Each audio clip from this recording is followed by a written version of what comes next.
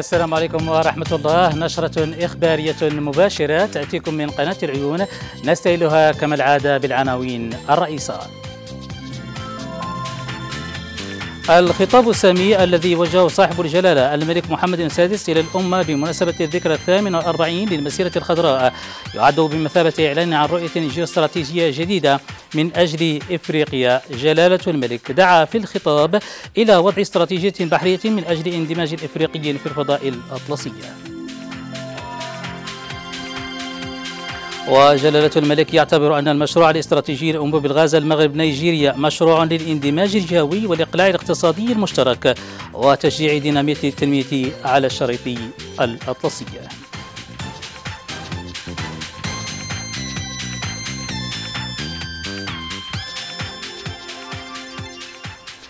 وفي النشرة أيضا بالجاجرات إعطاء الانطلاق لتشغيل محطة تحلية مياه البحر وتدشين وحدة تابعة لمجموعة بريد المغرب.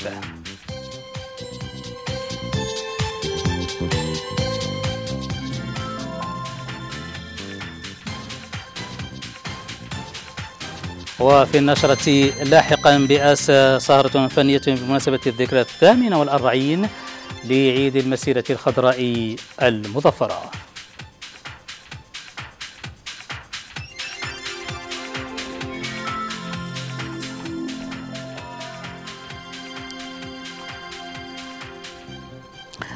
أهلا بكم ولتفاصيل وجه صاحب الجلالة الملك محمد السادس نصره الله مساء الاثنين خطابا ساميا إلى شعبه الوفي بمناسبة الذكرى الثامن والأربعين للمسيرة الخضراء المظفرة. خطاب بحمولة اقتصادية وتنموية. كما يعد بمثابة إعلان عن رؤية جيوستراتيجية جديدة من أجل إفريقيا حيث دعا جلالته في هذا الخطاب إلى وضع استراتيجية بحرية من أجل اندماج إفريقي في الفضاء الأطلسي. قراءة في مضامين الخطاب مع عياد السرتي. الحمد لله والصلاة والسلام على مولانا رسول الله وآله وصحبه شعبي العزيز. في الخطاب السامي الذي وجهه جلالة الملك إلى الشعب المغربي بمناسبة الذكرى الثامنة والأربعين للمسيرة الخضراء أكد جلالة الملك أنه وفاء للقسم الخالد لهذه الملحمة الوطنية تتواصل مسيرات التنمية والتحديث والبناء من أجل تكريم المواطن المغربي وحسن استثمار المؤهلات التي تزخر بها بلادنا وخاصة بالصحراء المغربية. هي مسيرة خالدة مكنت المغرب من تعزيز البعد الأطلسي للمملكة. وهنا يؤكد جلالة الملك حرصه على تأهيل المجال الساحلي وطنيا بما فيه الواجهة الأطلسية للصحراء المغربية الواجهة التي تعد بوابة المغرب نحو إفريقيا ونافذة انفتاحه على الفضاء الأمريكي. وإذا كانت الواجهة المتوسطية تعد صلة وصل بين المغرب وأوروبا فإن الواجهة الأطلسية هي بوابة المغرب نحو إفريقيا ونافذة انفتاحه على الفضاء الأمريكي. ومن هنا يأتي حرصنا على تأهيل المجال الساحلي وطنيا بما فيه الواجهة الأطلسية للصحراء المغربية وكذا هيكلة هذا الفضاء الجيوسياسي على المستوى الإفريقي. غايتنا أن نحول الواجهة الأطلسية إلى فضاء للتواصل الإنساني والتكامل الاقتصادي والإشعاع القاري والدولي. لذا نحرص على استكمال المشاريع الكبرى التي تشهد تشهدها أقاليم الجنوبية وتوفير الخدمات والبنيات التحتية المرتبطة بالتنمية البشرية والاقتصادية وكذا تسهيل الربط بين مختلف مكونات الساحل الأطلسي وتوفير وسائل النقل ومحطات اللوجستيك بما في ذلك التفكير في تكوين أسطول بحري تجاري وطني قوي وتنافسي. ولمواكبة التقدم الاقتصادي والتوسع الحضري التي تعرفه مدن الصحراء المغربية. ينبغي مواصلة العمل على إقامة اقتصاد بحري يساهم في تنمية المنطقة ويكون في خدمة ساكنتها. اقتصاد متكامل قوامه تطوير التنقيب عن المواد الطبيعية في أرض البحر ومواصلة الاستثمار في مجال الصيد البحري وتحلية مياه البحر لتشجيع الأنشطة الفلاحية والنهوض بالاقتصاد الأزرق ودعم الطاقات المتجددة. كما ندعو لاعتماد استراتيجية خاصة بالسياحة الأطلسية تقوم على استثمار المؤهلات الكثيرة للمنطقة قصد تحويلها إلى واجهة حقيقية للسياحة الشاطئية والصحراوية. المغرب بلد مستقر وذي مصداقية يعرف جيدا الرهانات والتحديات التي تواجه الدول الإفريقية عموما والاطلسيه على وجه الخصوص والتي تعاني من خصاص ملموس في البنيات التحتيه والاستثمارات رغم مستوى مؤهلاتها البشرية ووفرة مواردها البشرية. من هذا المنطلق يؤكد جلالة الملك يعمل المغرب مع الأشقاء في إفريقيا ومع كل الشركاء على إيجاد إجابات عملية وناجحة ناجعة لها في إطار التعاون الدولي. وهنا يندرج المشروع الاستراتيجي لأنبوب الغاز المغرب نيجيريا. ومشروع للإندماج الجهوي والإقلاع الاقتصادي المشترك وتشجيع دينامية التنمية على الشريط الأطلسي إضافة إلى أنه سيشكل مصدرا مضمونا لتزايد الدول الأوروبية الدول, الدول الأوروبية بالطاقة.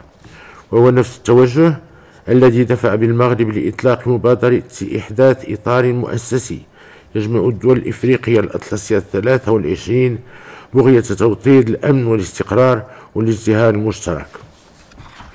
إن المشاكل والصعوبات التي تواجه دول المنطقة منطقة الساحل الشقيقة لن يتم حلها بالأبعاد الأمنية والعسكرية فقط بل اعتماد مقاربة تقوم على التعاون والتنمية المشتركة.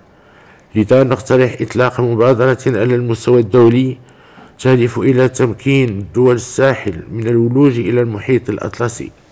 غير أن نجاح هذه المبادرة يبقى رهينا بتأهيل البنيات التحتية لدول الساحل.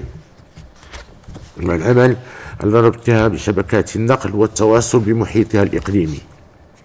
والمغرب مستعد لوضع بنياته التحتية الطرقية والبنائية والسكك الحديدية. رغم إشارة هذه الدول الشقيقة إيمانا بنا بأن هذه المبادرة ستشكل تحولا جوهريا في اقتصادها وفي المنطقة كلها. جلالة الملك استحضر في الخطاب السامي القيم الروحية والوطنية والاجتماعية التي تميز الأمة المغربية في عالم كثير التقلبات مذكرا جلالته بأن المسيرة الخضراء جسدت هذه القيم العريقة قيم التضحية والوفاء وحب الوطن والتي مكنت المغرب من تحرير أرضه واستكمال سيادته عليها ومؤكدا جلالته أنها منظومة قيم متكاملة مكنت من توطيد المكان المكاسب التي حققها المغرب في مختلف المجالات لا سيما في النهوض بتنمية الأقاليم الجنوبية وترسيخ مغربيتها على الصعيد الدولي. وهي منظومة متكاملة من القيم مكنت من توطيد المكاسب التي حققناها في مختلف المجالات لا سيما في النهوض بتنمية أقاليمنا الجنوبية وترسيخ مغربيتها على الصعيد الدولي. قد اعترفت والحمد لله العديد من الدول بمغربية الصحراء. وعبرت دول أخرى كثيرة وفاعلة بأن مبادرة الحكم الذاتي الحل الوحيد لتسوية هذا النزاع الإقليمي المفتعل. كما ساهمت خيمة التضامن والتعاون والانفتاح التي تميز المغرب من تعزيز دوره ومكانته كفاعل رئيسي وشريك اقتصادي وسياسي موثق وذي مصداقية موثوق وذي مصداقية على المستوى الإقليمي والدولي وخاصة مع الدول العربية والإفريقية الشقيقة. شابي العزيز نغتنم, نغتنم مناسبة تخليد هذه الذكرى المجيدة لنجدد التزامنا بقيم مسيرة الخضراء ووفاءنا لقسمها الخالد. كما نشيب نشيد بالجهود التي تبذلها القوات المسلحة الملكية والقوات الأمنية والإدارة الترابية وكل القوى الحية داخل الوطن وخارجه في دفاع الحقوق المشروعة للوطن. ولا يفوتنا أن نستحضر بكل تقدير وإجلال روح مبدئ المسيرة الخضراء والدنا المنعم جلالة الملك الحسن الثاني أكرم الله مثواه والأرواح الطاهرة لكل, شا... شا... لكل شهداء الوطن الأبرار والسلام عليكم ورحمة الله تعالى وبركاته.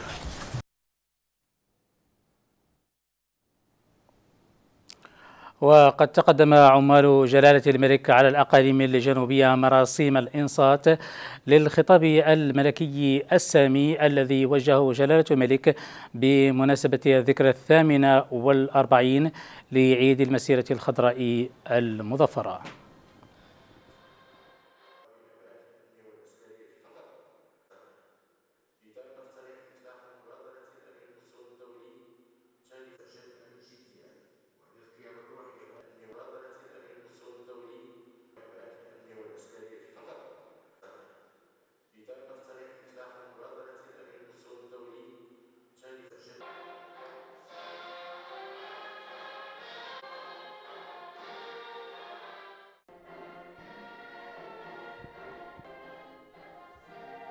الخضراء هذه العريقة يوم التضحية والوفاء بالوطن التي مكنت المغرب من تحرير أرضه واستكمال سيادته عليها. المشروع السياسي على المستوى الإفريقي.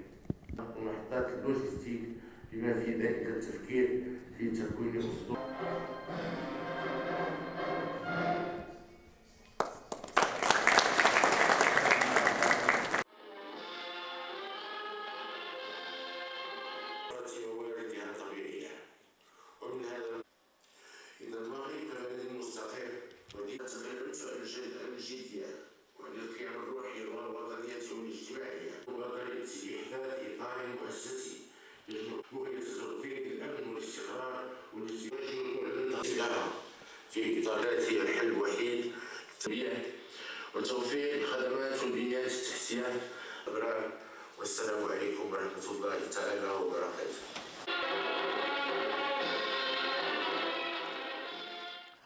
وقد عبرت عديد الفعاليات المنتخبة والجمعوية عن تثمينها لمضامين الخطاب الملكي السامي الذي حمل رؤية جديدة لتنمية بهذه الربوع. من المملكة كونها بوابة المملكة على إفريقيا في إطار انفتاح المملكة على عمقها الإفريقي.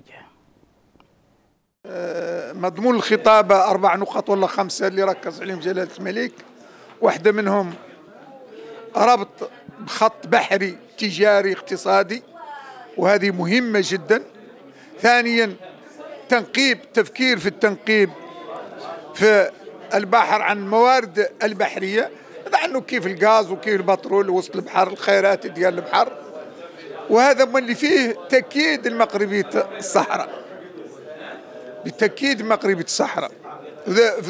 ذو النقاط كلهم. خط ديال الغاز اللي دايز على نيجيريا ونيجيريا وتفكير فيه وخلق له آليات اللي يتمشى بها مزيان. هذا خط اللي تعود عنده قيمة كبيرة جدا ويربط المغرب وأوروبا ليعود خط جيد جدا وليعود عنده اقتصاد. الورش الكبير الذي أشار له جلالة الملك وهو الاهتمام بالساحل الإفريقي.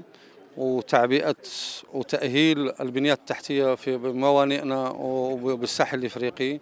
الدعوة للاهتمام بالمحطات اللوجستيكية وتحلية مياه البحر. أعطى نموذج ديال أنبوب الغاز نيجيريا المغرب في 23 دولة يعني استقرار البلد البلدان ليس من من الاعتماد على المقاربة الأمنية بينما هو على التنمية وعلى الاستثمارات. هذا العنصر وهذا الورش اللي طلقه جلالة الملك ورش ضخم ولكن أعطى مؤشرات كبيرة تبوأنا على أساس أنه عندنا مكانة خاصة. أولا أصبحنا بعد الحصاد الدبلوماسي الكبير اللي أعطاه المغرب مكانة جدية حقيقية ومصداقية كبيرة مع الأشقاء العرب مع الإخوة الأفارقة مع المنظومة الإقليمية اللي اللي هم الأوروبيين. لا حل لقضية القضية الوطنية إلا سقف الحكم الذاتي. هذا تصنيف وهذا ورش واللي بغى يأشر عليه انخرط فيه انخرط فيه لأنه العالم صاحب أصبح شاهد عليه. استبشرنا نحن منتخبي وشباب الأقاليم الجنوبية بهذا الخطاب الملكي السامي بمناسبة الذكرى الثامنة والأربعون للمسيرة الخضراء المظفرة لأنه تحدث عن اقتصاد بحري بالأقاليم الجنوبية. تحدث كذلك عن آه، تأهيل الواجهة الأطلسية المغربية بما سيعود بالنفع على شباب الأقاليم الجنوبية. كذلك هم هذا الخطاب جانب مهم بصفتي نائب في البرلمان الإفريقي إذ وتحدث عن تأهيل المجال السوسيو سياسي بإفريقيا وبالضبط في دول الساحل حيث أكد جلالته أن لا تأهيل لمجموعة دول الساحل بدون تأهيل البنية التحتية. رسائل جد مهمة اللي أعلن عنها صاحب الجلالة آه، لمن يهمه الأمر. ورسائل كذلك مهمة للعالم كله. أولا آه، الاعترافات اللي حققناها في قضيتنا الوطنية بمغربية الصحراء وكذلك الاعترافات بنجاعة ومصداقية الحكم الذاتي. وجاء كذلك في خطاب صاحب الجلالة إعلان عن عدة مشاريع ضخمة في الساحل المحيط الأطلسي في الأقاليم الجنوبية من بنية تحتية مهمة اللي غادي تفتح المجال لاستثمارات ضخمة كبيرة خاصة لدول الساحل الإفريقي اللي غادي تكون بوابة بين بينهم وبين القارة الأوروبية واللي غادي تفتح مجال مجال كذلك الدول العربية الشقيقة الاستثمارات وكيف ما تعرفوا الساكنة ديال الأقاليم الجنوبية آه، فرحانة جدا بهذه المشاريع. أنا هذا الخطاب أعتبره خطابا تاريخيا آه، ومهم جدا لأن في الحقيقة المبادرة الطيبة اللي شار لها جلالة الملك فيما يتعلق بهذا الجسر ديال المحيط الأطلسي واللي سيضم سيضم آه، ما يزيد على 23 دولة آه، إفريقية. واللي في الحقيقة المغرب معني بالدرجة الأولى بهذا الجسر اللي هو اللي يوقع آه، في الحقيقة آه، سيستفيد منه المغرب ولكن سيستفيد منه هذه الأقاليم الجنوبية بحكم على أن عندنا ما يزيد على 1200 كيلومتر من المحيط الأطلسي وسيستفيد كذلك منه هذه الدول التي هي 23 دولة من الدول الإفريقية اليوم آه، صاحب الجلالة يؤكد في خطابه آه، على ضرورة الاستثمار في الاقتصاد آه، الأزرق من خلال الميناء المتوسطي للداخلة كذلك من خلال الخط الذي يربط المملكة المغربية بنيجيريا. نحن كمنتخبين لهذه الجهة نعتز بخطاب صاحب الجلالة الذي ما فتئ يؤكد على ضرورة الاستثمار بهذه المناطق العزيزة على كل مغربي ومغربية. نشهد كذلك الطفرة النوعية التي عرفتها هذه الأقاليم بعد المسيرة الخضراء وقبل ذلك في الحقبة الاستعمارية. هذا دليل ما يدل على شيء وهو جواب شافي وكافي لكل المناورات التي تحاك ضد القضية الوطنية. الخطاب الملكي اليوم بمناسبة عيد المسيرة الخضراء هو كان آه، في الشق.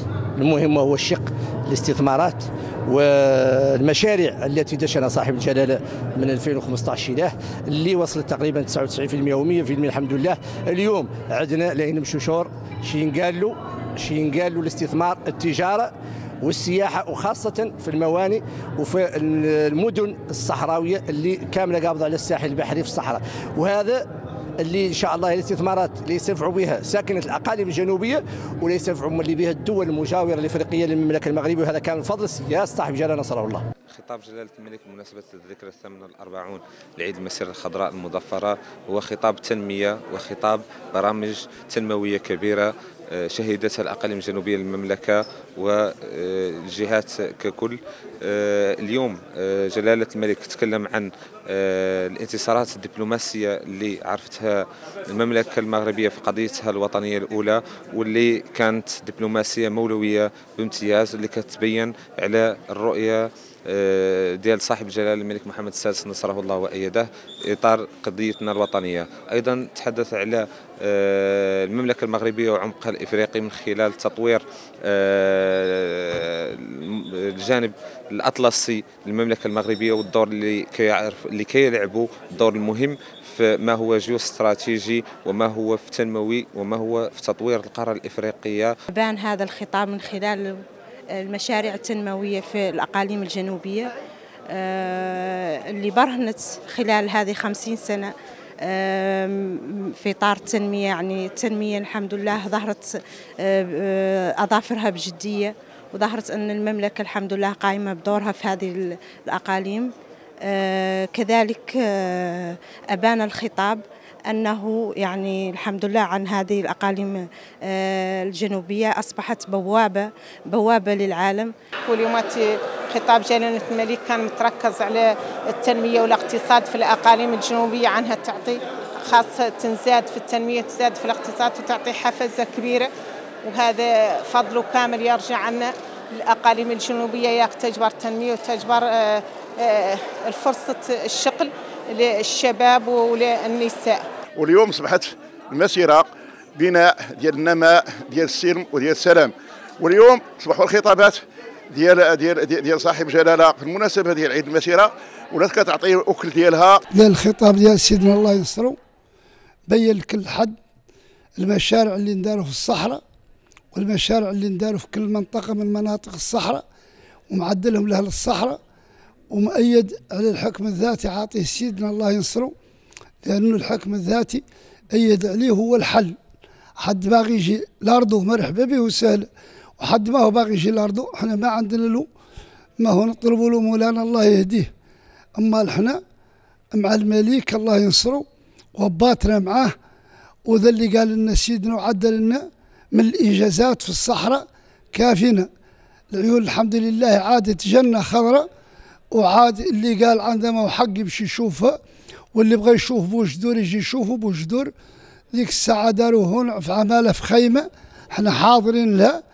وأنا من الناس اللي مشاركة في المسيرة الحمد لله. وشفنا الإنجازات اللي دارت في الجريفية هذا الأسبوع. الخطاب ديال جلالة الملك الليلة بين يعني التوجهات اللي خالقة وبين اللي خالق شنو. بين أولا بعد وقبل كل شيء عن ما هناك شيء اللي يمكن له يململ ولا يفكر في سياسة المغرب في, في الأقاليم الجنوبية نهائيا. يعني الأمور مقادة ماشية. تكلم على واحد الميدان وهو أهم شيء وهو اللي نتمناه إن شاء الله الرحمن الرحيم عنا نوصلوا له بتعليماته. هو الاستثمار خاصة في الشواطئ المحيط. وإحنا كمدينة يعني في المحيط استبشرنا خيرا. بالميناء اللي لا ينزاد لنا بالمشاريع لأن قال عن خص المشاريع على المحيط تعود. اولا المواني يعني القطارات اللي قاعدة تكون يعني رابطة ما بين شمال المملكة إلى إفريقيا. يعني نبوب الغاز اللي لا يجي من نيجيريا كذلك. هذه يعني مشاريع مهمة. نموذج التنموي الجديد عرف اشواطا جد متقدمة في في المشاريع في نسبة الإنجاز وتطرق جلالة الملك إلى جيل آخر من المشاريع التي هي استثمارات في الأقاليم الجنوبية على الشريط الأطلسي. نظرا لمكانة الأقاليم الجنوبية في موقعها الاستراتيجي شمال آه، غرب إفريقيا وتقع كذلك في المحيط الأطلسي يعني كنافذة على أمريكا اللاتينية وإفريقيا. تطرق كذلك جلالة الملك إلى الأنبوب أنبوب الغاز نيجيريا المغرب الذي سيفتح آفاق كبيرة في التنمية لدول الساحل ودول إفريقيا. ولهذا فإن الأقاليم الجنوبية الحمد لله تزخر بالازدهار والطمأنينة والمشاريع الكبرى ونحن مجندون وراء جلالة الملك إلى إن شاء الله إلى أن يرث الله الأرض ومن وينضم إلينا مباشرة من الداخل السيد سيد أحمد حرمة الله رئيس الجمعية الصحراوية للتنمية المستدامة وتشجيع الاستثمار. سيد سيد أحمد مساء الخير.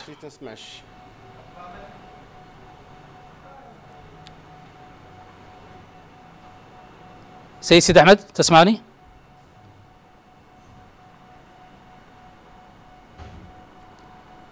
سيد سيد أحمد تسمعني؟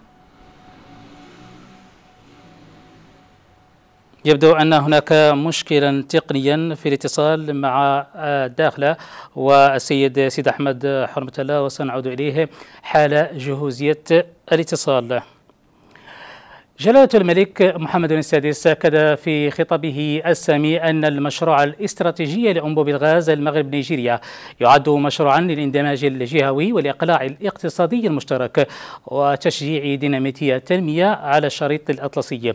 مذكرا أن أنبوب الغاز المغرب نيجيريا سيشكل مصدرا مضمونا لتزويد الدول الأوروبية بالطاقة مذكرا بأنه هو نفس التوجه الذي دفع المغرب لإطلاق مبادرة إحداث إطار مؤسسي يجمع الدول الإفريقية الأطلسية الثلاثة والعشرين بغية توطيد الأمن والاستقرار والازدهار المشترك. تقرير فتح المين يتوقع خبراء في الطاقة ومتابعون للشأن الاقتصادي أن يكون للأنبوب الذي سيربط بين نيجيريا والمغرب أثرا كبيرا على اقتصاد أفريقيا لا سيما الدول الواقعة غربي القارة في ظل ارتباك إمدادات الطاقة في العالم. المشروع يعد إذا قاطرة لمسار اندماج منطقة غرب أفريقيا وهو يندرج ضمن رؤية ملكية يتجاوز مداها ثلاثين سنة.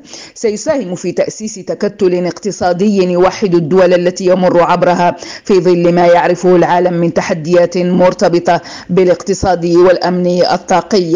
سيعطي دفعة قوية لاقتصادات دول أفريقيا لا سيما الدول الواقعة في غربي القارة كما سيشكل فرصة لرص صفوفها والدفاع عن مواقفها من موقع قوة وكذا تذويب الخلافات وتغليب المصلحة المشتركة لبلوغ الأمن الطاقي وتقليص نسب البطله مشروع خط أنبوب الغاز بين نيجيريا والمغرب. حظي بحيز هام ضمن خطاب جلالة الملك يوم أمس بمناسبة الذكرى الثامنة والأربعين للمسيرة الخضراء المظفرة.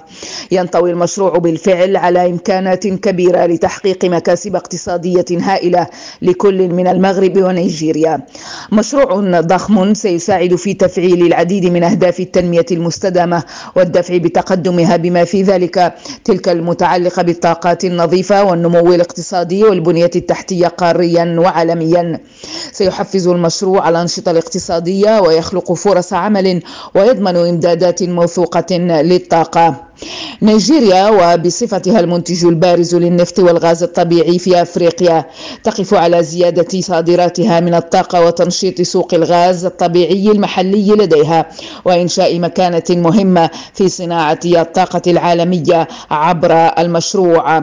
نقل الغاز الطبيعي من نيجيريا إلى المغرب فاسبانيا في نهاية المطاف يشكل تقدما كبيرا في البنية التحتية للقطاع الطاقي بأفريقيا كما سيسهم في استغلال الإمكانات غير المستغلة لغرب أفريقيا باعتبارها مهمة تستدعي انجازا لا يمكن أن يتم إلا من خلال التعاون وتعزيز الأمن الطاقي بالمنطقة. ومن ثم الدفع بعجلة النمو الاقتصادي الإقليمي.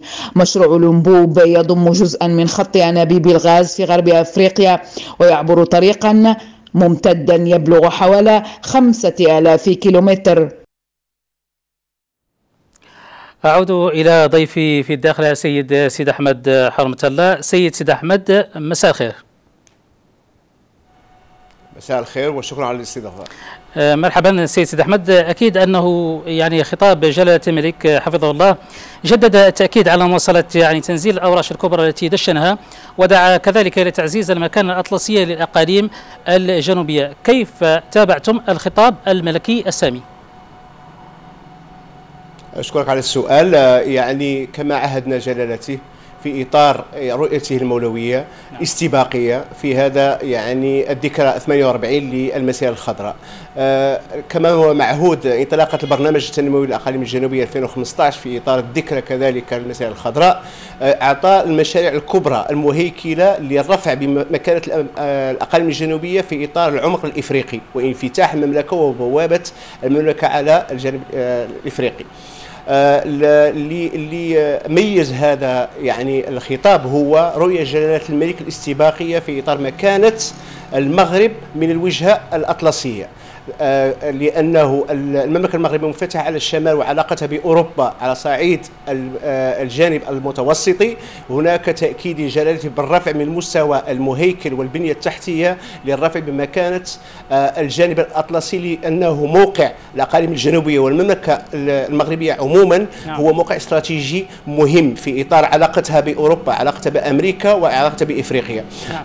رصد جلالته كذلك رؤية موحدة واستراتيجية واضحة واضحة المعالم في إطار رفع بهذه يعني الناحية الأطلسية هناك مشاريع اللي تم الانطلاقة ديالها في 2015 نعم. في إطار البرنامج التنموي كالطرق كالمح...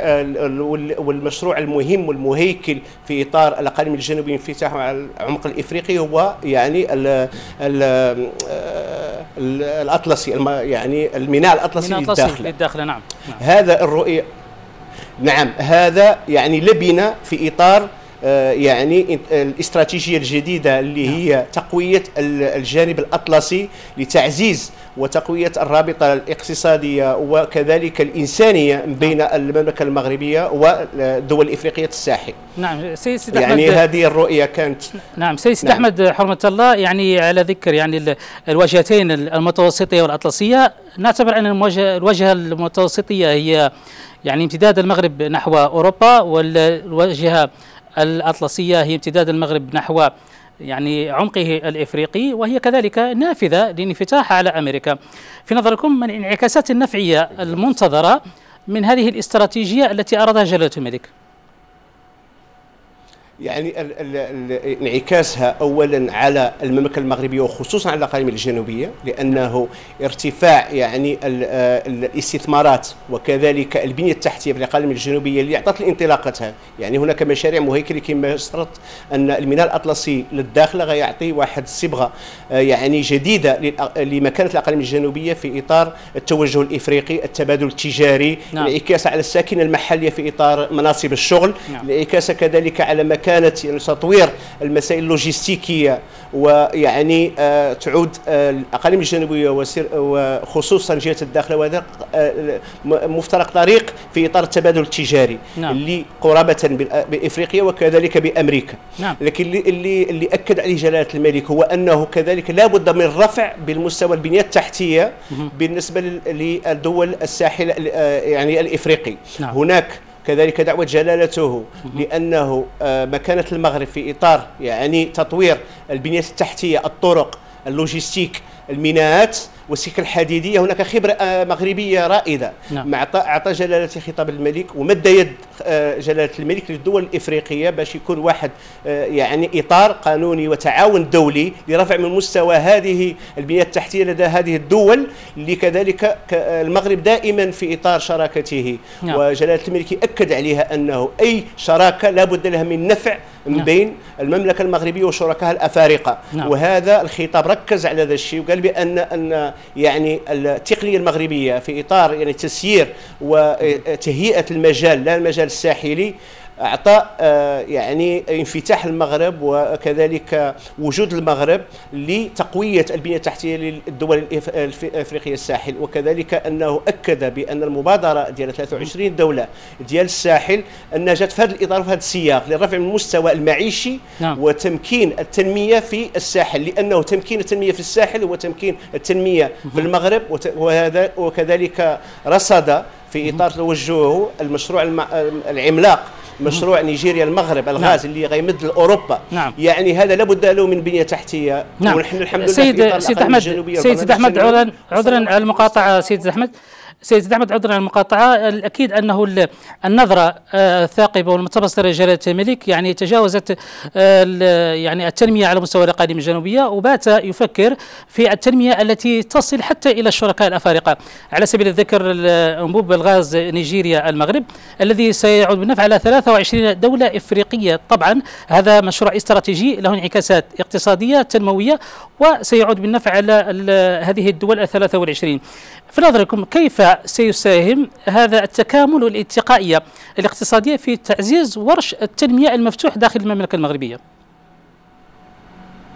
كما قلنا في يعني آه آه هذا أكيد آه يعني اللي اللي جا في يعني في في سردكم هو أنه خطاب جلالة الملك كان دائما سباق. يعني أي تنمية للأقاليم الجنوبية والمملكة على العموم لابد له الانعكاس على صعيد افريقي نعم. يعني جلالة الملك اعطى أعطى ملامح وأعطى ركائز في إطار استراتيجيته الجديده لتنمية الساحل نعم. تنمية الساحل وتقويته على صعيد المملكة لابد يكون عنده انعكاس لا على الشعب المغربي خصو... آه يعني عموما وساكنة الأقاليم الجنوبية خصوصا نعم. وهذا لابد له من كذلك باش يعود متكامل وله وله وقع على الساكنة الإفريقية لابد من تعزيز وتقوية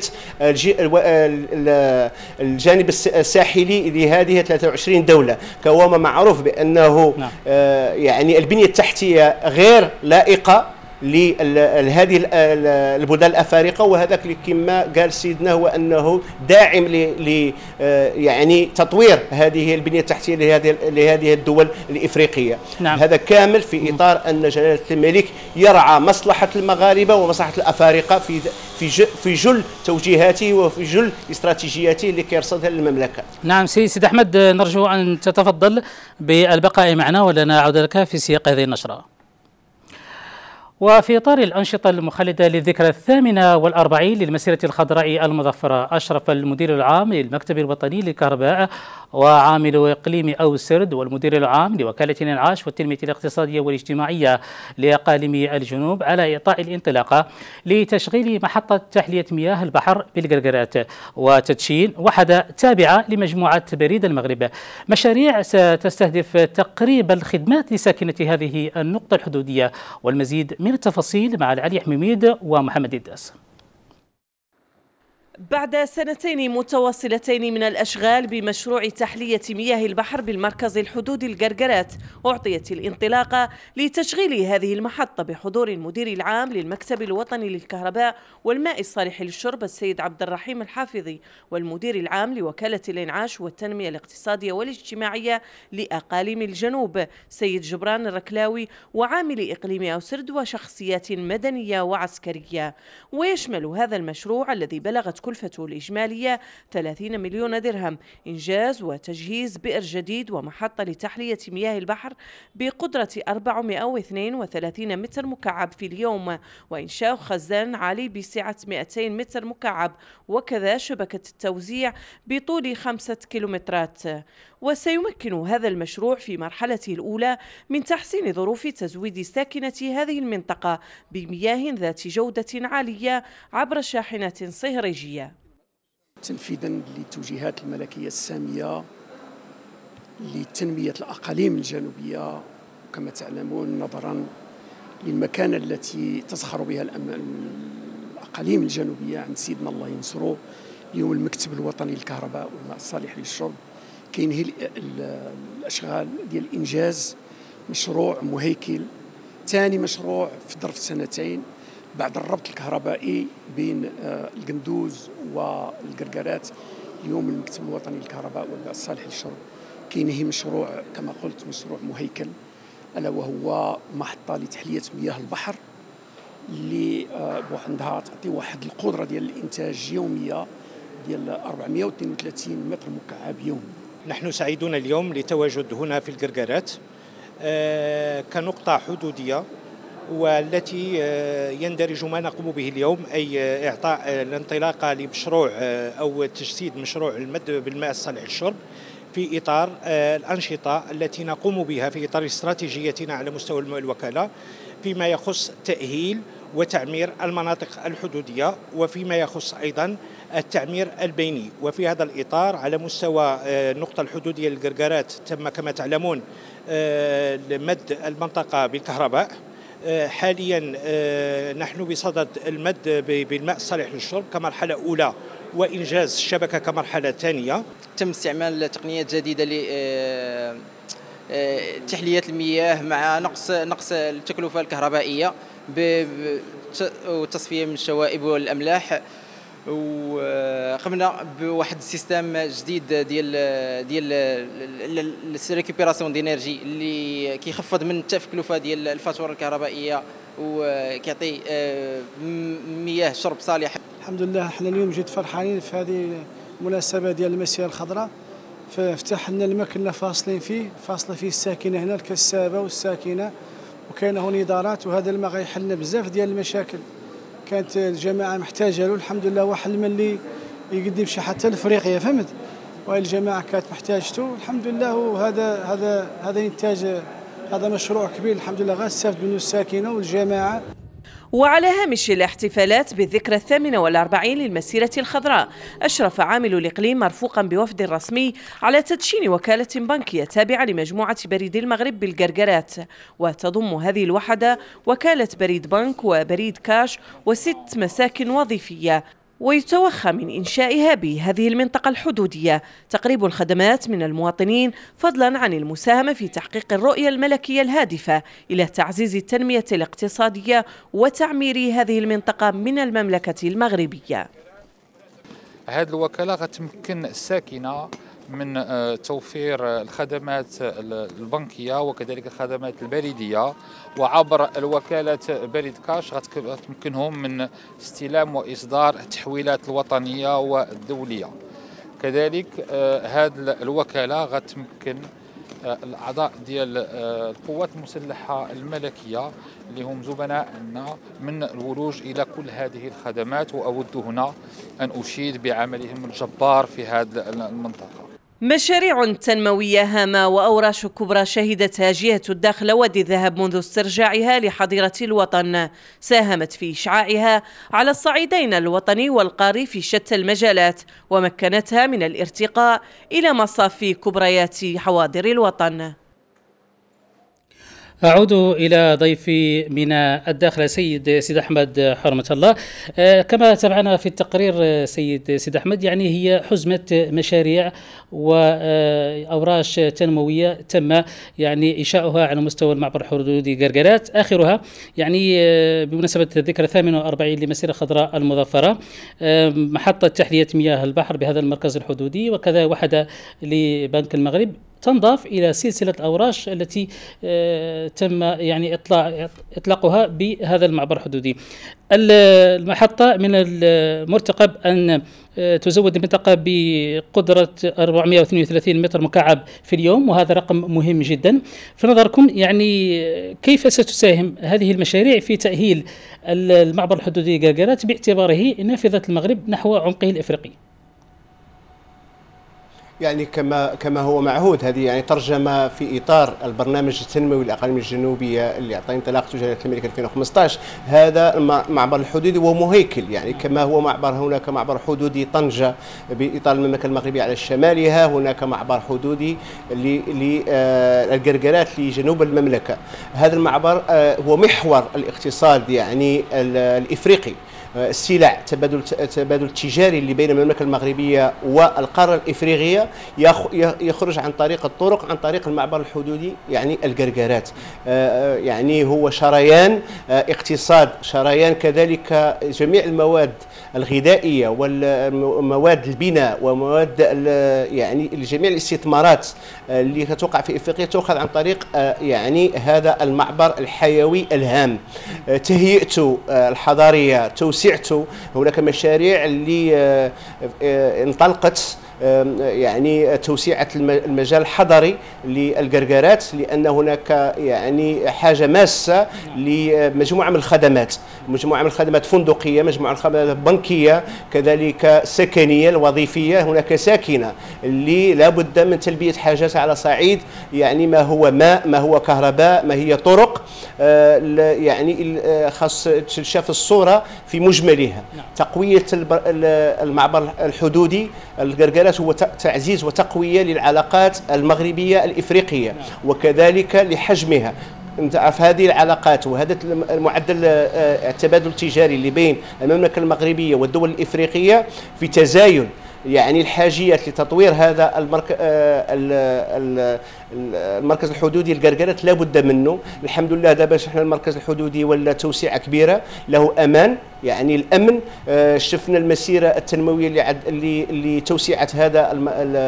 هذا المركز لتقوية الأمن فيه وتقويه كذلك الخدمات فيه لأن الحاجة هي يعني اللي آه، اللي كتطلب من تقوية آه، هذه المشاريع الضخمة اللي عطى الانطلاقة ديالها آه، يعني جلالة الملك في إطار البرنامج التنموي غنشوفوا ملي مشاريع ضخمة كذلك كبيرة مستقبلا في إطار توسعه وتقوية الشريان هذا المعبر إن شاء الله. إن شاء الله سيد سيد أحمد حرمة الله رئيس الجمعية الصحراوية للتنمية المستدامة وتشجيع الاستثمار شكرا جزيلا كنت معنا مباشرة من الداخله. شكرا.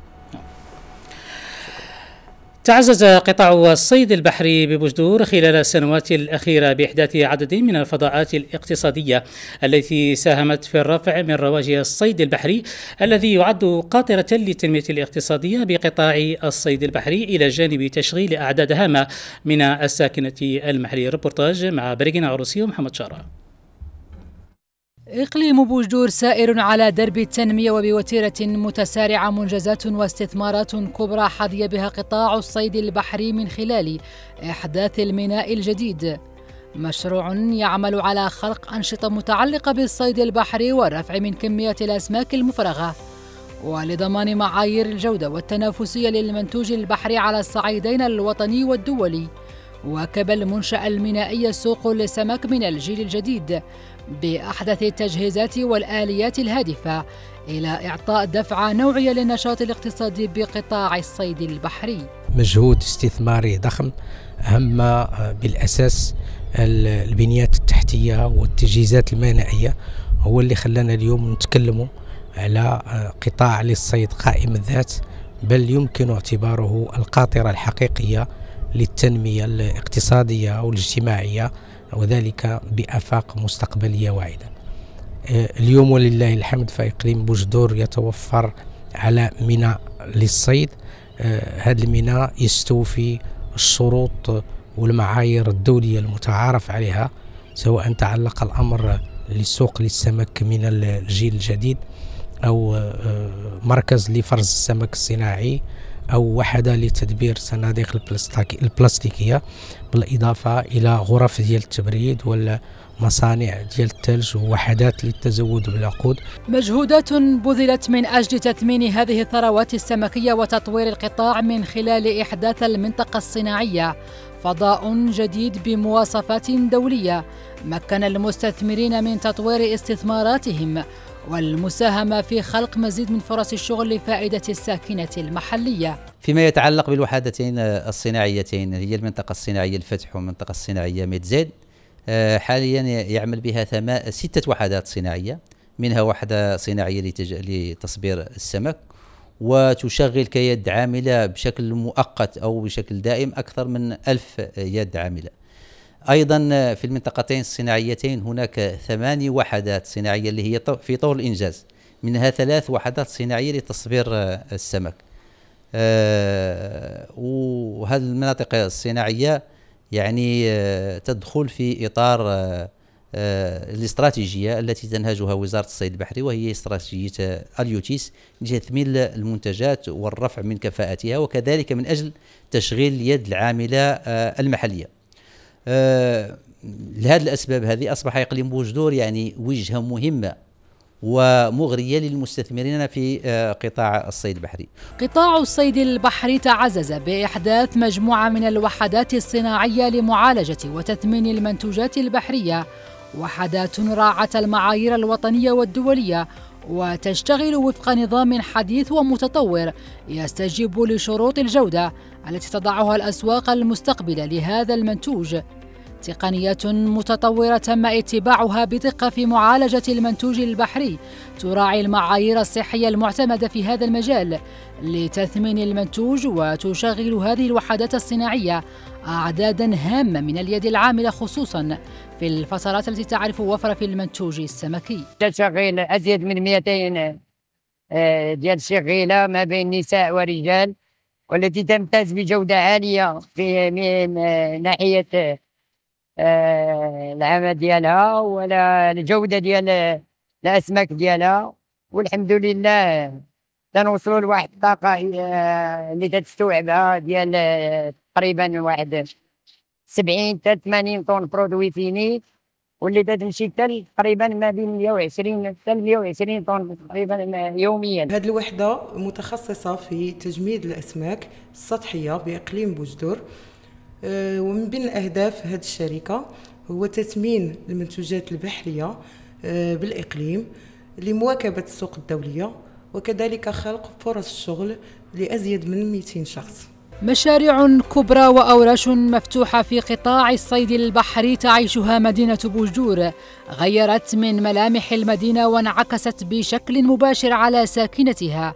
مشاريع شملت إحداث أقطاب متعددة وتطورات هامة سواء من حيث البنيات التحتية والمجالات الصناعية التي تشغل يد عامل مهم من الساكنة المحلية. رشيد ساري رئيس المركز الإفريقي للدراسات الاستراتيجية والرقمنة خص قناة العيون بتصريح حول الأبعاد الاقتصادية والتنمويه للخطاب الملكي السامي بمناسبة المسيره الخضراء المظفرة. الخطاب الخطاب الملكي هو خارطة طريق حقيقيه على المستوى المحلي وكذلك على المستوى الإفريقي. على المستوى المحلي خطاب صاحب الجلالة تحدث عن التنمية التي تشهدها الأقاليم الجنوبية وكذلك يعني تطويرها بشكل كبير من خلال تنمية الاقتصاد الأزرق. تحدث صاحب الجلال على أنه يجب أن يكون هناك أسطول بحري قوي أن تكون هناك يعني آه، يعني الإنتاج أو تنقيب على المعادن والمواد المواد الطبيعية داخل آه، البحر. تحدث كذلك عن تحلية مياه البحر. تحدث صاحب الجلالة كذلك عن إنتاج الهيدروجين الأخضر وعن السياحة بمنظورها مفهومها الجديد والواسع الذي يجب أن يشمل الأقاليم آه، الجنوبية. صاحب جلالة كذلك تحدث عن البعد آه، الإفريقي من خلال تنمية شاملة لدول الساحل نتحدث عن 23 دولة. يضع رهن إشارتها الخبرات المغربية البنية التحتية المغربية وكذلك العوامل اللوجستيكية. من أجل أن يكون هناك تنمية داخل القارة الإفريقية بعيدا عن النزاعات بعيدا عن يعني القوة العسكرية لأنه الأهم هو تحقيق تنمية آه، اقتصادية. تحدث كذلك صاحب الجلالة عن أنبوب الغاز المغربي النيجيري الذي لن ينحصر فقط على الاستفادة الدول التي سوف يمر منها هذا الأنبوب ولكن تحدث صاحب الجلالة عن اندماج حقيقي عن تنمية اقتصادية لدول الساحل. أكثر من هذا يعني صاحب الجلالة دعا لتكوين مجموعة قوية اقتصادية لدول الساحل وكذلك دعا يعني الدول العالم من أجل أن يعني تنخرط في هذا المشروع الكبير؟ اليوم آه، يعني المغرب يريد أن تكون هنا دولة يعني إفريقيا تكون قوية. منذ عقدين لاحظنا بأن هناك مجهود كبير لصاحب الجلالة من خلال يعني مجموعة من المشاريع إنمائية. علاقته بناها مع مجموعة من الدول على أساس رابح رابح. واليوم هذا الخطاب كما قلت هو جاء بمثابة خارطة الطريق على المستوى المحلي من أجل يعني ترسيخ ما ما ما بدأناه في النموذج التنموي للأقاليم الجنوبية. ولكن هناك اليوم بعد آخر يترسخ وهو تنمية شاملة لدول آه، إفريقيا خاصة الدول الأطلسية. اليوم يحق لنا أن نقول بأنه اليوم نبني صرح جديد وقوة جديدة بمفهوم جديد هو أن تكون إفريقيا قوية إفريقيا منتجة وإفريقيا مستثمرة وإفريقيا يجب أن تعيش الرفاه وهذا ما يسعى إليه صاحب الجلاله إلى السمارة التي تواصل بها صباح اليوم برنامج الأنشطة والتدشينات المخلدة لحلول الذكرى الثامنة والأربعين لعيد المسيرة الخضراء المظفرة. عامل الإقليم مرفوقا بالمنتخبين وشخصيات مدنية وعسكرية أشرف على تدشين عدد من المرافق والمنشآت الجديدة يطلعنا على تفاصيلها. يوسف زعوطي ومبارك الباز. بالمدخل الشمالي للمدينة المحطة الطرقية الجديدة ومراسيم التدشين صباح اليوم. منشأة ضمن باقة المشاريع المهيكلة كلف إنجازها 12 مليون درهم وشيدت على مساحة إجمالية بلغت 16 ألف متر مربع. محطة وفق تصميم عمراني يوظف الخصوصيات المحلية وينفتح على عموم حاجيات المرتفقين. ففضلا عن فضاءات حجز التذاكر والإرساليات تضم مرافق إدارية ومقهى وقاعة للصلاة ومواقف مخصصة للحافلات ومهنيي النقل بمختلف الأصناف. استمر الحمد لله التدشينات واليوم دشنا معلمة اللي بالنسبة لنا نعتبروها مشروع مهيكل مدينة سمارة وهي المحطة الطرقية الجديدة. هذه الحمد لله محطه محطة اللي ودشنت معايير اللي هي ممتازة لا من ناحية المعمار ديالها لا من ناحية واجهتها. ولا من ناحية كذلك المرافق اللي معدلة فيها باش كانها تؤدي مهامها. آه تنضاف كذلك بس تعزز التجهيزات اللي عندنا على مستوى ديال الربيب. باش التوجه اللي ماشيين فيه كان إن شاء الله نقضوا على دور الصفيح وكان الناس إن شاء الله تسكن في ديارها. هذا كان من يعزز التوجه ديالنا باش هذو الخدمات اللي هي تعود مرتبطة بالساكنات تعود آه، عملية.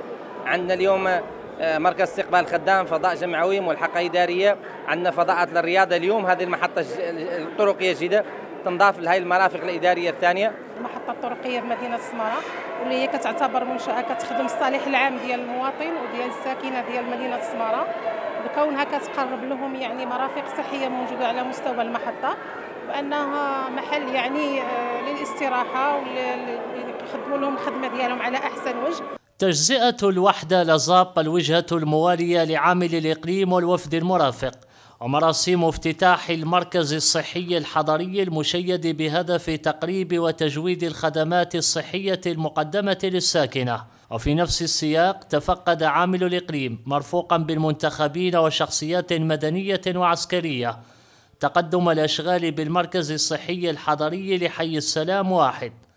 منشآت ومراكز صحية تحرص الدوائر المحلية على تعزيز وتسهيل ولوج الساكنة المحلية لسلة خدماتها الاستشفائية. تم اليوم تدشين مركز من المراكز الصحية التابعة لهذا الإقليم وهذا المركز يتواجد بحي الوحدة. آه، مركز آه، هدفه وهو محاولة مساعدة هذه الساكنة ديال الوحدة على مستوى على مستوى تقريب الخدمات الصحية وتوسيع العرض الصحي وعلى مستوى كذلك تحسيس هذه الساكنة هذه بجميع الأوبئة اللي قد مثلا تهدد حياة المواطن في هذا الإقليم وإلى جانب كذلك المساعدة ديال جميع المراكز الصحية الأخرى. منشآت ومشاريع مهيكلة افتتحت صباح اليوم في وجه عموم الساكنة المحلية إلى جانب مراكز أخرى تتقدم بها الأشغال قدما. في أفق تعزيز المرافق والبنيات التحتية بحاضرة إقليم السمارة. وبإقليم سيدي إفني تقدم عامل الإقليم على الأنشطة الرسمية المخالدة للذكرى الثامنة والأربعين للمسيرة الخضراء المظفرة. نتابعها في ريبورتاج حافظ محضار وجمال اختصاصي سيدي إفني تحتفي كباقي ربوع المملكة بحلول الذكرى الثامنة والأربعون للمسيرة الخضراء المظفرة. عامل الإقليم يعطي الانطلاقة هنا لعديد المشاريع الإنمائية بعديد ربوع الإقليم والبداية من جماعة ميرلفت حيث تدشين ملحقة المدرسة الابتدائية أفتاس بمركز الجماعة. وبجماعة تيوغزا وفي سياق جهود دعم الخدمات المقدمة لمختلف الشرائح الاجتماعية. تدشين هنا لمركز لذوي الاحتياجات الخاصة. تدشين آه، مشروع مهم آه، يتعلق الأمر بمدرسة ابتدائية بحي افتاس هذه المدرسة إن شاء الله التي سوف تعزز وتطور آه، العرض المدرسي بجماعة ميرلفت والتي تنضاف إلى مؤسسات أخرى اللي هي مؤسسات عمر الخيام الابتدائية ومؤسسات مدرسه الابتدائية بحي تيرت. المدرسة الثالثة كما قلنا سوف تعزز سوف تعزز العرض المدرسي.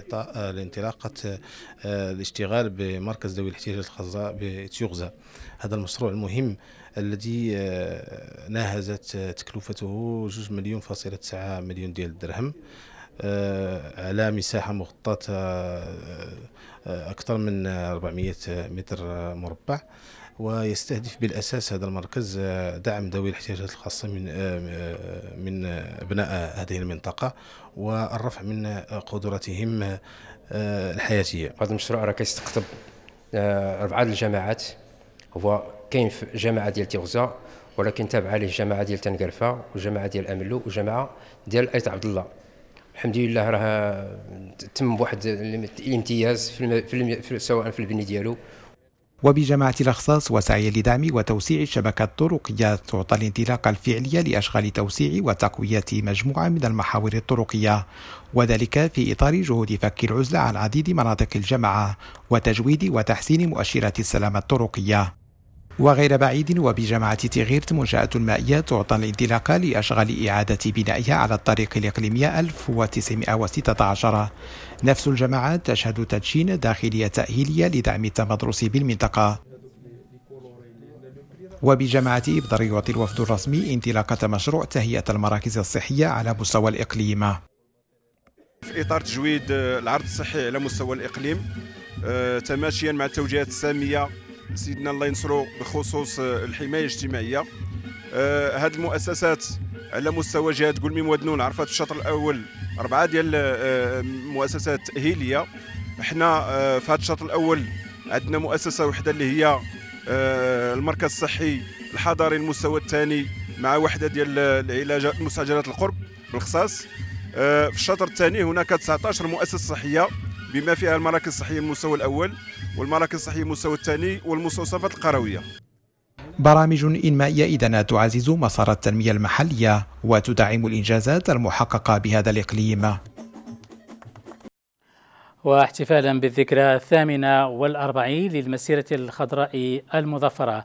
نظم بقصر المؤتمرات بالعيون معرض للصور التاريخية التي تؤرخ لأهم الأحداث التاريخية والملحمية في تاريخ المملكة. وللجهة مرفوقا برئيس مجلس جهة العيون ساقي الحمراء ورئيس جماعة العيون وشخصيات مدنية وعسكرية. تفقدوا بالمناسبة أروقة هذا المعرض.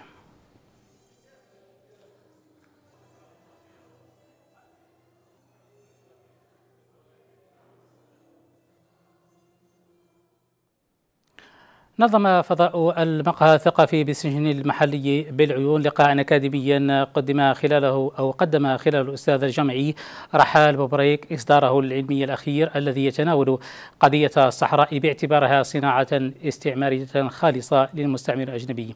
سيد أحمد مسيريب والصالح الرقيبي والتفاصيل. اللقاء استعرض من خلاله الكاتب مختلف المحطات الرئيسية لقضية الصحراء المغربية حيث بين للجميع كيف خلق المستعمر كيانا من فراغ شأنه في ذلك شأن باقي الدول الاستعمارية التي غزت إفريقيا وكيف تم إجهاض كل عملياته من خلال جيش التحرير والمقاومة وصولا للمسيرة الخضراء وتحرير آخر شبر بالصحراء المغربية. لبينا هذه الدعوة وكنت مسرور بأن يتواجد في هذا اليوم وفي هذه المدينة بهذه المناسبة لتقديم كتابي الأخير حول آه، قضية الصحراء آه، في أصول صناعة استعمارية وعدت فيه لجذور هذا المشكل هي جذور استعمارية بطبيعة الحال خلق حدود مصطنعة في بداية القرن العشرين وإجهاض تحرير في 56 57 58 ورفض يعني تسليم أو الخروج أو تصفية الاستعمار كما هو الحال في جميع دول إفريقيا وكذلك الدخول في مفاوضات مع المغرب من أجل استرجاع الصحراء وتمديد هذا المشكل ولإتاحة الفرصة لهذا المستعمر في الستينيات وبداية السبعينيات لخلق كيان معين في هذه المنطقة وكيف أفشل المغرب هذا المشروع ووقفنا عند محطة المسيرة الخضراء التي كانت منعطف كبير في وضع نهاية لهذا الاستعمار واستعادة المنطقة في 1975 اللقاء الذي دأبت المؤسسة السجنية على تنظيمه خلال كل سنة وبتنسيق مع شركائها في إطار البرامج التأهيلية.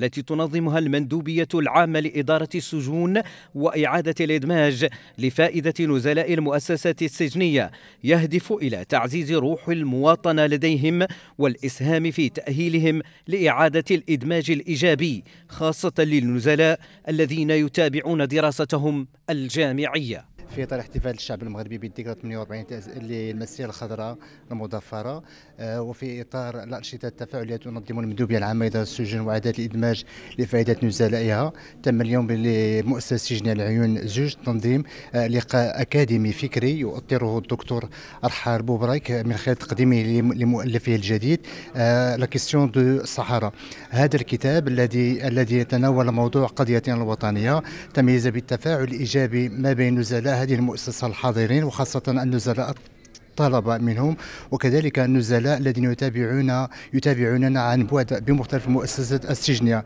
إذا هذا اللقاء شكل هذا اللقاء الأكاديمي الفكري شكل فرصة أخرى إضافية اعتمدت المندوبية العامة لإدارة السجون يمكن نزلائها من المشاركة الفعالة في طرح مجموعة من القضايا ذات الصلة بقضيتنا الوطنية وكذلك طرح أفكارهم وتساؤلاتهم حولها. وهذا ما وهذا ما ساهم إلى حد كبير في إغناء النقاش اليوم وكذلك في تفريد هذه الأنشطة التفاعلية تنظمها المندوبية العامة لفائدة نزلائها بالمؤسسات السجنية. يهدف الاحتفال السنوي بذكرى المسيرة الخضراء عبر المقهى الثقافي بالمؤسسات السجنية إلى ترسيخ هذه الذكرى في نفوس النزلاء كما أن استمرارية الاحتفال به يكرس روح الوطنية العالية والاعتزاز بالانتماء إليها بالمساهمة في بناء مغرب يعتز المغاربة بالانتماء إليه ويفتخرون بتاريخه المجيد. مدينة العيون تجني ثمار تقدمها وتطورها التنموي وعربيا. فازت مدينة العيون كبرى حواضر الصحراء المغربية بجائزة المدينة المستدامة والمرنة بالمركز الثاني. وذلك ضمن جوائز الدورة الرابعة عشرة لجائزة منظمة المدن العربية التي تم إعلان نتائجها اليوم الثلاثاء بمقر مؤسسة الجائزة بالدوحة. وجائزة المدن العربية تهدف إلى حث المدن العربية على التجديد والابتكار ارتكازا على الطابع المعماري العربي الإسلامي في العمارة المعاصرة. والحفاظ على هوية المدينة العربية وتراثها وصيانة المعالم والمآثر التاريخية وتشجيع المهندسين والمخططين العرب للحفاظ على البيئة والتصدي للملوثات وتكريس الاهتمام بالتخضير وتجميل المدن وانتهاج الخطط العلمية في إضفاء البهجة والجمال على المدينة.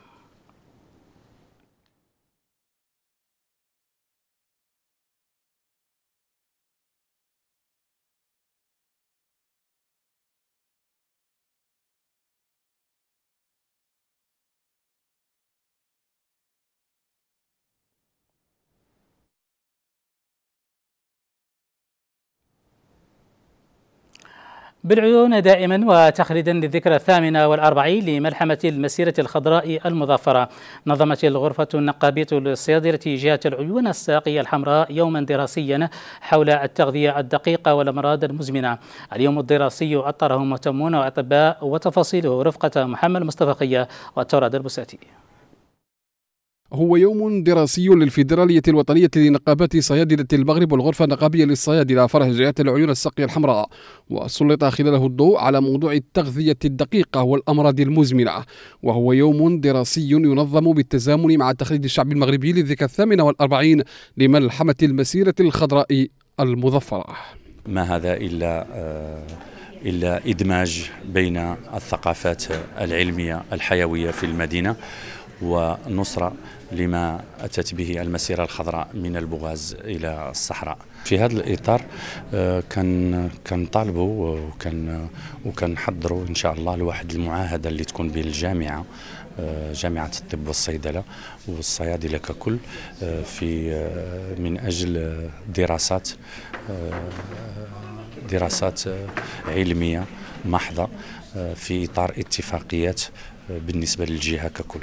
يقوم الصيادلة صيادلة جهة العيون الساقية الحمراء بتنظيم مناظرة آه، حول آه، الأمراض المزمنة ودور التغذية إذن ارتأينا أن أن هذا الموضوع مهم جدا آه، في إطار في كلية الطب والصيدلة بالعيون. كان كان نحب نحتموا أنه الطالب يكون يعرف أنه التغذية شيء مهم جدا. في الوقاية من بعض الأمراض المزمنة. هم أساتذة باحثون وأطباء أكدوا خلال مداخلتهم على ضرورة الالتزام بضوابط التغذية الدقيقة للمصابين بالأمراض المزمنة حتى تسهل عليهم طرق العلاج وفق نصائح الأطباء وتوجيهاتهم. نتمنوا انه هذه الجلسة العلمية تدوز على احسن احسن حال وتكون إن شاء الله واحد المناسبة باش تكون واحد العلاقة ودية بيننا وبين الغرفة النقابية لصيادلة جهة العيون الساقية الحمراء. والفيدرالية الوطنية لنقابة صيادلة المغرب والغرفة النقابية للصيادلة فرع جهة العيون الساقية الحمراء لا زالت جهودهم متواصلة لتسليط الضوء على طرق العلاج والتغذية للمصابين بالأمراض المزمنة.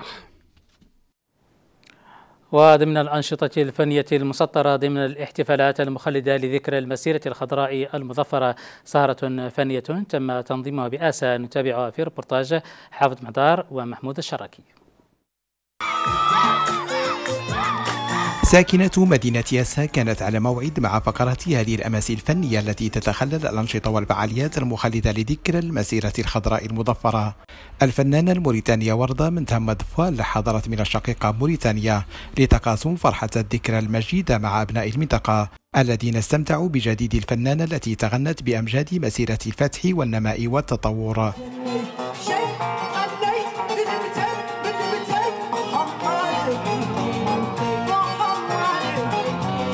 شرفني آه، آه، حتى على إني حضرت لهذا المهرجان اللي أكثر من رائع ما شاء الله. مهرجان ليالي زين وكانت جمهوره ما شاء الله جمهور مقبل عليه وكان ما شاء الله في المستوى. وشرفتني نتمنى دائما نعود دائما حاضرة في احتفاليات ومهرجانات في المملكة المغربية الشقيقة. موجة تحية خاصة من بلادي. آه، بلاد الشنقيط أرض المنارة والرباط آه، الجمهورية الإسلامية الموريتانية لأشقائنا وأحبابنا وهن آه، في الشقيقة المغرب. ونتمنى دائما يكون فم جسر تواصل بيننا معهم دائما لأن إحنا سفراء البلد والفن هو الرسالة اللي توصل بين الأحباب وبين الشعوب. فرقة تجد برصيدها الفني وريبرتوارها الذي يحتفظ بأعمال خالدة يحفظها المغاربة عن ظهر قلب أعادت الحضور إلى ماضي مشرق للأغنية المغربية.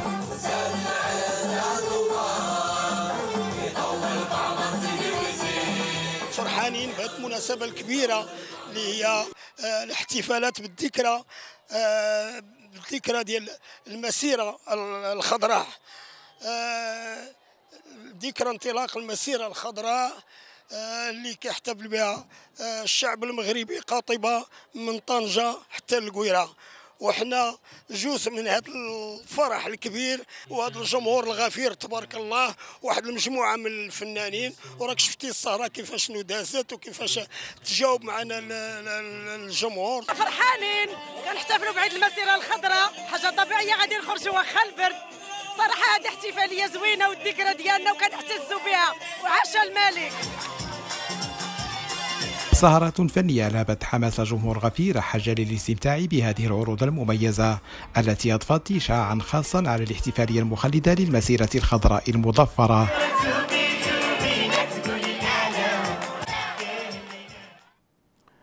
إلى السمارة وفي غمرة الاحتفالات المخلدة لحلول الذكرى الثامنة والأربعين لعيد المسيرة الخضراء المظفرة. كانت ساكنة المدينة ليلة البارحة على موعد مع سهرة فنية كبرى أحيتها مجموعات وطنية والمع نجوم الغناء والموسيقى المغربية. مواد السهرة شدت إليها جموعا غفيرة من الساكنة المحلية التي تفاعلت مع أحدث الأعمال. الفنية المعروضة بسهرة المسيرة الخضراء.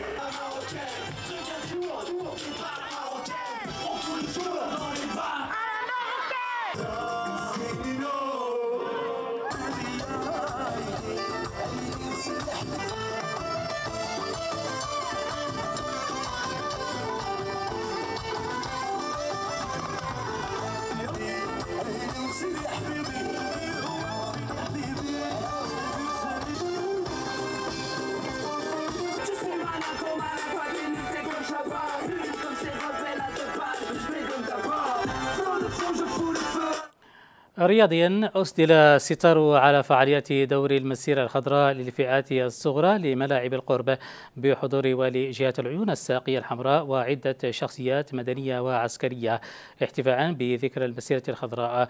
وكانت فرصة للفتيان الصغار لإظهار مهاراتهم الكروية وسط أجواء احتفالية. والمزيد من التفاصيل في ربورتاج محمد فتاح وبجمع الزاوي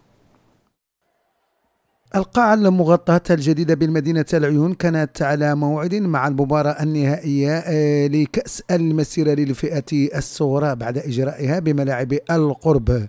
دامت عدة أشهر وهي تلتئم هذه الفئات من أجل تقديم طبق كروي تحت إشراف أطر وكفاءات محلية. والكل أدى دوره من أجل إنجاح هذه التجربة الرائعة والرائدة بتشجيع الفئة الصغرى بممارسة ومغازلة المستديرة الصغيرة والأكيد على أنه مثل هكذا مبادرات تعطي أكلها في المستقبل القريب. وأكدت من خلالها هذه الفئات عن علو كعبها وتقديم طبق كروي للمتتبعين.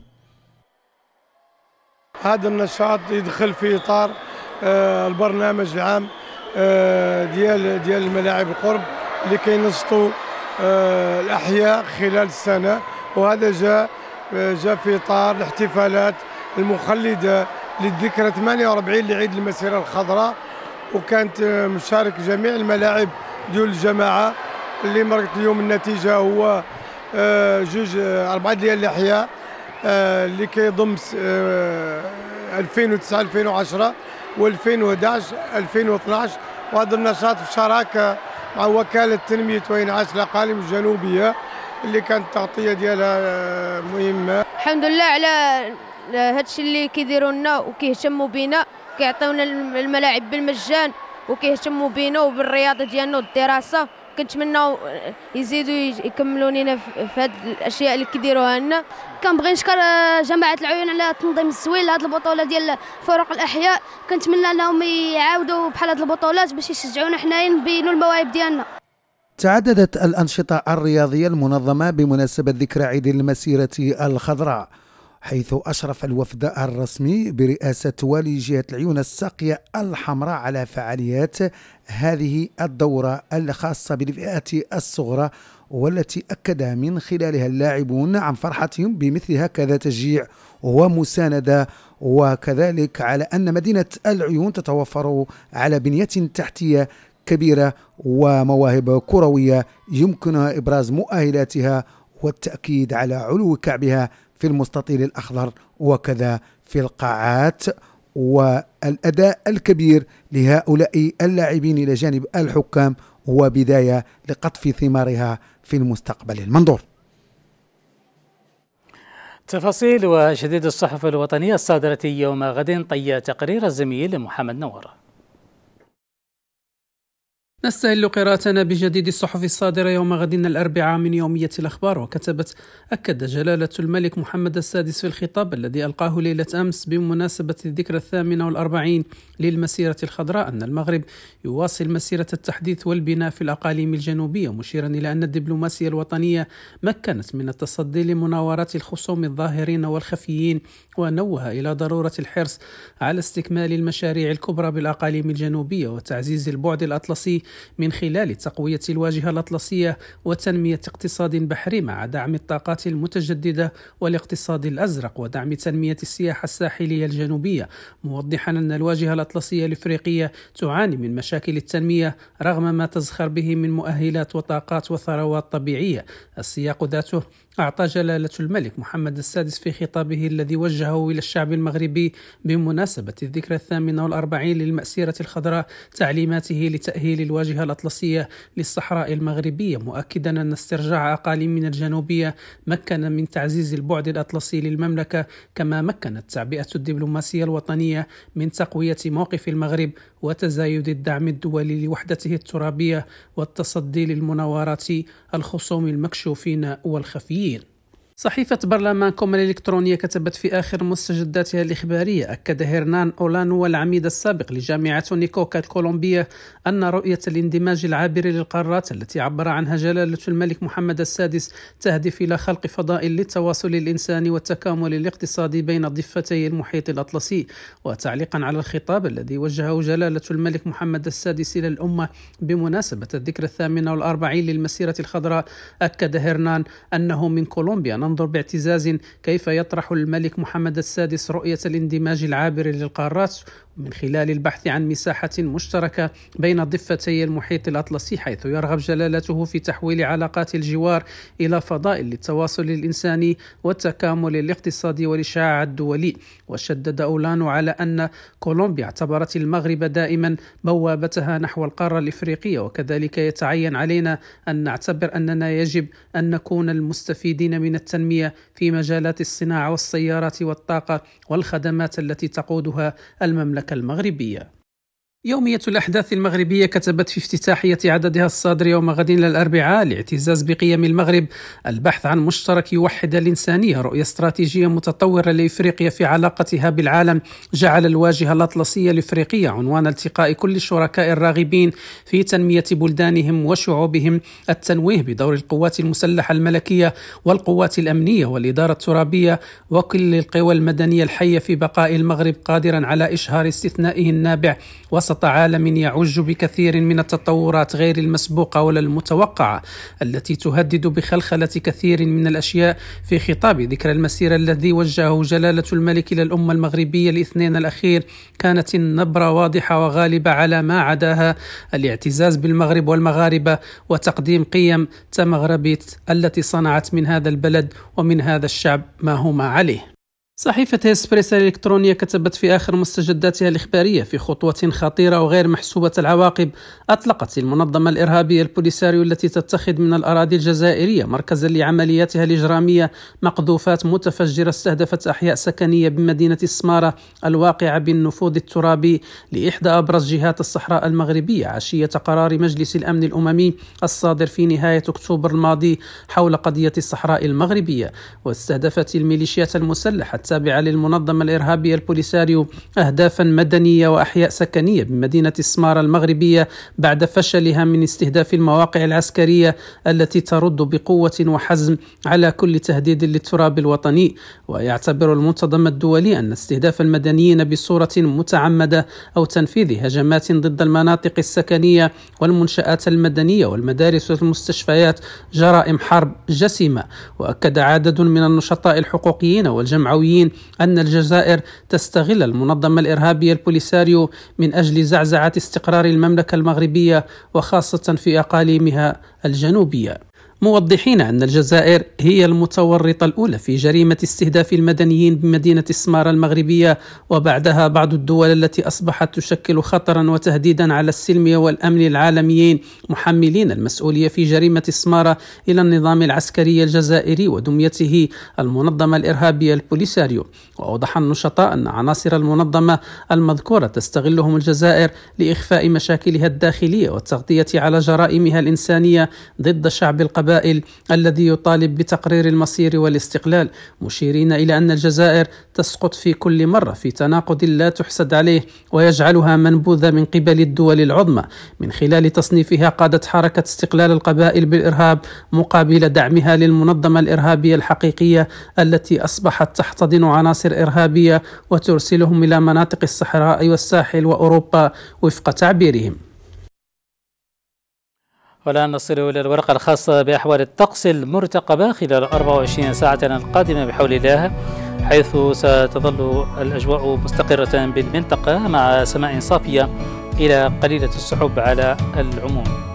مقاييس درجات الحرارة نستعدها من العاصمة الرباط ومن المتوقع أن تسجل 19 مئوية.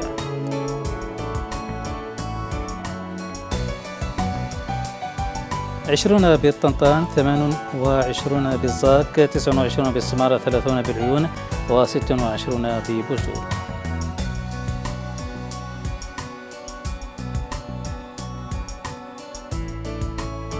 أربع وعشرون بالداخلة تسع وعشرون بأوسرد أربع وعشرون كذلك بالكويرة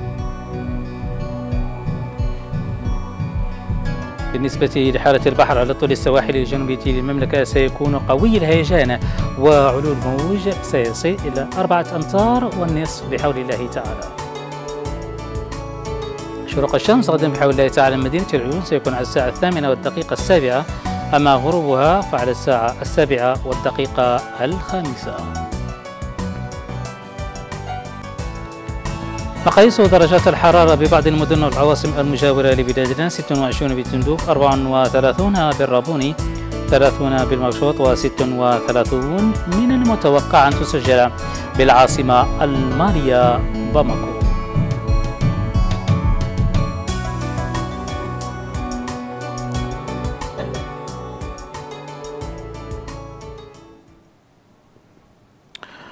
إلى التذكير بالعناوين. الخطاب السامي الذي وجهه صاحب الجلالة الملك محمد السادس إلى الأمة بمناسبة الذكرى الثامن والأربعين للمسيرة الخضراء يعد بمثابة إعلان عن رؤية جيوستراتيجية جديدة من أجل إفريقيا. جلالة الملك دعا في هذا الخطاب إلى وضع استراتيجية بحرية من أجل اندماج إفريقي في الفضاء الأطلسي وجلالة الملك يعتبر أن المشروع الاستراتيجي لأنبوب الغاز المغرب نيجيريا مشروع للاندماج الجهوي والإقلاع الاقتصادي المشترك وتشجيع دينامية التنمية على الشريط الأطلسي.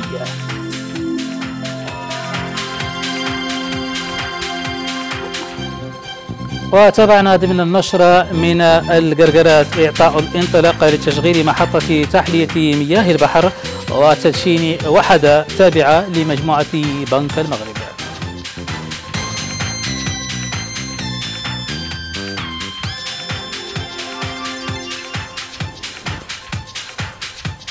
وتابعنا ضمن مواد النشر سهرة فنية بمناسبة الذكرى الثامنة والأربعين للمسيرة الخضراء المظفرة.